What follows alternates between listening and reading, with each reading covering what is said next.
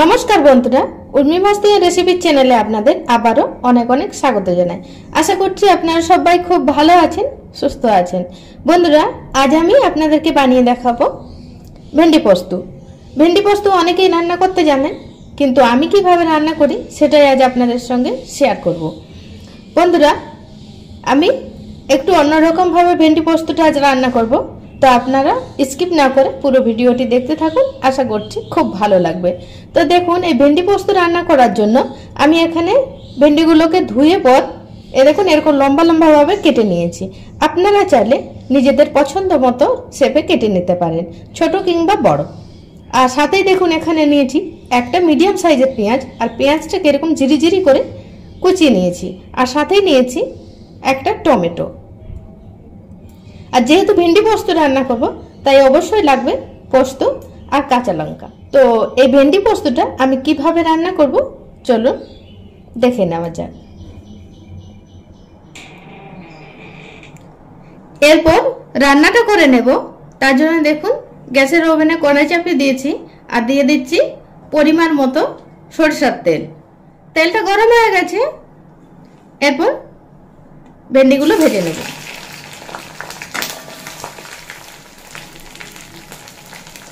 এই ভেন্ডিগুলোতে আমি অল্প লবণ আর একদম সামান্য পরিমাণে হলুদের গুঁড়ো দিয়ে ভেজে নেব।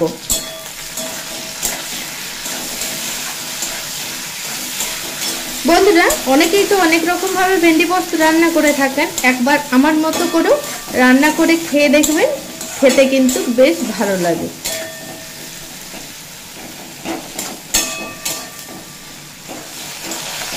এরপর দেখুন ভিন্ডিগুলো খুব ভালোভাবে ভাজা হয়ে গেছে, এরপর তুলে নেব।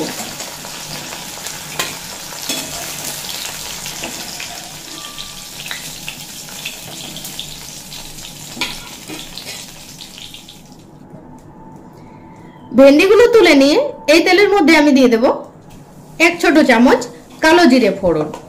বন্ধুরা, আপনাদের যদি মনে হয় যে তেল কম আছে আপনারা তেল এড করে নিতে পারেন। আর যদি মনে হয় বেশি আছে, তাহলে আপনারা তেলটা তুলে রেখে নিতে পারেন।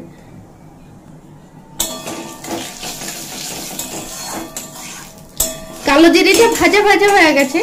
সুন্দর একটা গন্ধ বেরিয়েছে। এই সময় দিয়ে দেব জিরি জিরি করে কুচিয়ে রাখা পেঁয়াজ।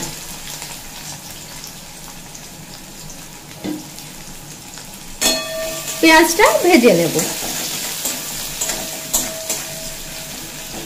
ব্রাউন করে ভাজতে হবে না, বেশ একটু নরম করে নিলেই হবে। বন্ধুরা, এই রান্নাটা করা খুবই সোজা আর একদম অল্প সময়ের মধ্যেই হয়ে যায়।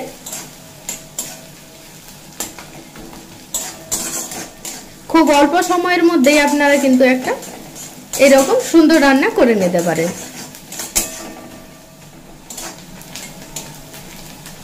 আর বন্ধুরা, যারা নিরামিষ খাবেন, তারা পেঁয়াজটা স্কিপ করতে পারে।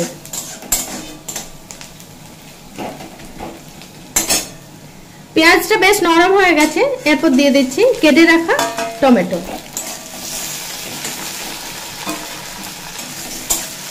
এই টমেটোটা নরম হওয়া পর্যন্ত নাড়াচাড়া করে নেব।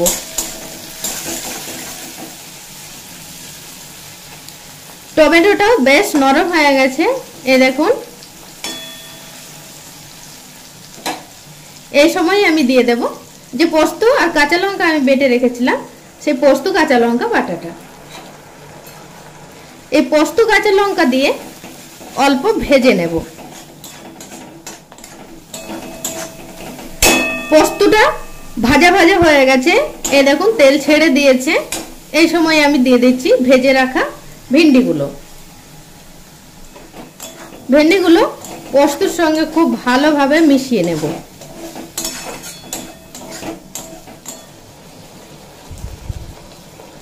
আর বন্ধুরা, এই সময় আমি আরও অল্প লবণ দিয়ে দিচ্ছি, কারণ আমার মনে হচ্ছে যে লবণটা একটু কম হবে, তার জন্যই আমি এখানে আরও অল্প লবণ অ্যাড করে দিলাম। এরপর খুব ভালোভাবে নাড়াচাড়া করে মিশিয়ে নিতে হবে। আর বন্ধুরা, যেহেতু ভেন্ডিগুলো ভাজাই আছে, তাই ভেন্ডিগুলো সিদ্ধ হয়ে আছে। এই দেখুন, আমি আপনাদেরকে দেখিয়ে দিচ্ছি। এই দেখুন, খুব ভালোভাবে সিদ্ধ হয়ে আছে। তো তার জন্য এখানে আর সেরকম জলের এড করব না। আপনাদের যদি মনে হয় যে ভেন্ডিটা সিদ্ধ হয়নি, তাহলে আপনারা জল এড করে দিতে পারেন।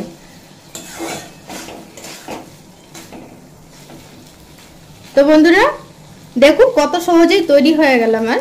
ভেন্ডি পোস্ত, একদম ভিন্ন স্বাদের। তো আপনাদের যদি ভালো লাগে রেসিপিটা আপনারা এরকম ভাবে রান্না করে খেয়ে দেখতে পারেন। খেতে কিন্তু বেশ ভালোই লাগবে।